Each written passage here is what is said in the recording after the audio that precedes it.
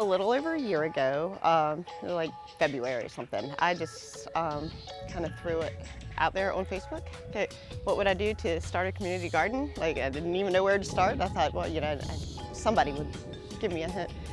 And um, the president of the Neighborhood Watch said, we should do that, we should do that here. And so we just started talking to people and we started looking at properties in, in the area. This particular one happened to have a house on it, but um, somebody in community programs knew that the house was to be demolished and that it would not be rebuilt. Upon hearing that, we started making inquiries, like could we change the zoning so that we could utilize it.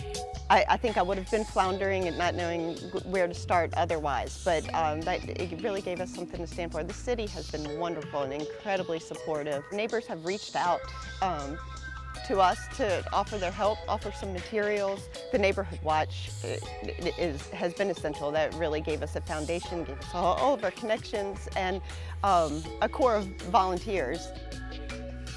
Jamie's a very hardworking person. Uh, she's probably one of the hardest working volunteers that I've ever seen.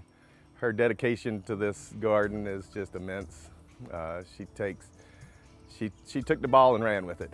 Um, we need a lot of people like that no matter what community you live in. Bringing the community together, involved in uh, a common project, uh, teaching the children uh, the importance and, uh, of growing.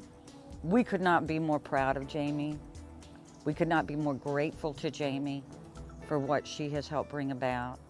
And from a personal level, I am very thrilled to have her as a friend and neighbor.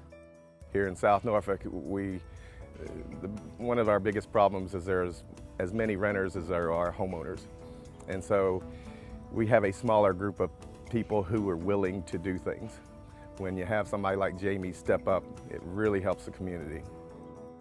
We really want to give the food away. We don't want anything to go to waste. We want to share as much as possible. Any excess, we, we want to give to somebody who deserves it, who needs it, and um, who will enjoy it. And I think everybody will. I can't provide enough from my backyard to everybody, but there's no reason everybody can't have a little piece you know, in a place like this. Cox Conserves Heroes is presented by Cox Communications in partnership with the Trust for Public Land.